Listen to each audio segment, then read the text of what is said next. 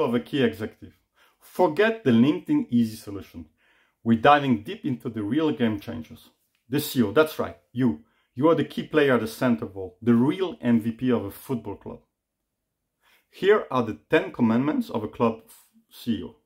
First, vision and strategy. The CEO puts into practice, into vision that resonate with everyone involved in the club, from youth player to the star player. The environment is key and managers are important, but leading brings that extra difference.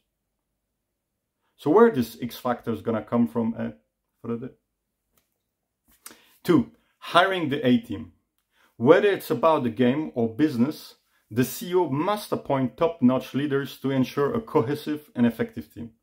It's not just about hiring skilled people, but networking, networking, don't underestimate it. But who's assessing your hires? Three, decision making. The CEO is the ultimate referee, balancing the needs both of the football and the business sides and the community, while making tough calls when necessary.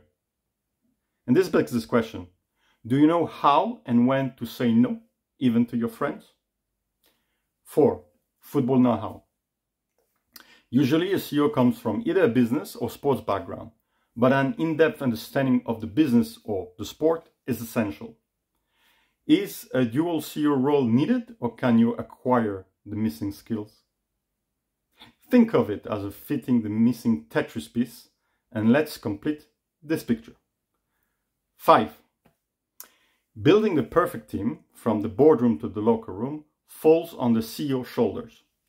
Knowing the vital function in the club is crucial, but training everyone to work together is equally important. But what have you done recently to make it happen? Six, governance sensitivity. The CEO role isn't just symbolic. It's an influential position that creates tangible value both within and outside the club. Navigating the high seas of UEFA, CONCACAF, AFC and FIFA, you better know your compass points. 7. The world of football is a storm. Steer the ship. CEO must provide consistently direction amidst the chaos.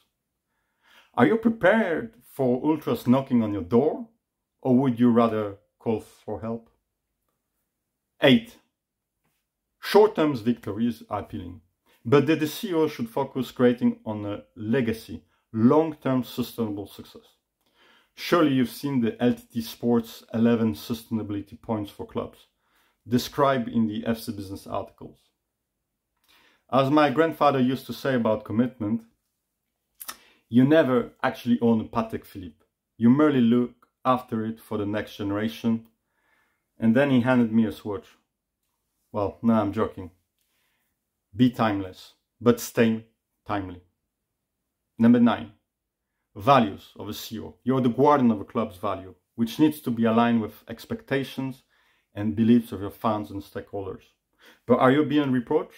Do you even need to be? 10. Stakeholder management. The CEO is the vital connective tissue between the diverse stakeholders, such as owners, fans, media. Transparency, influence, trust are key. But what's your plan B if the main sponsors decides to walk away? Anyway, those are the 10 commandments that form the cornerstone of effective leadership for challenging, complicated world of club football. They are not just rules, but principles that underpin a successful tenure as a club CEO. Great CEOs are almost always great simplifiers. Yeah, the quote.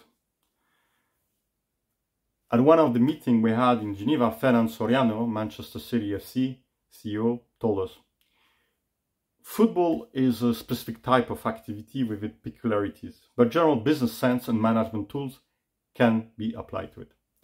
All right, Stay tuned for more back to school club management series. The game's changing and so should you.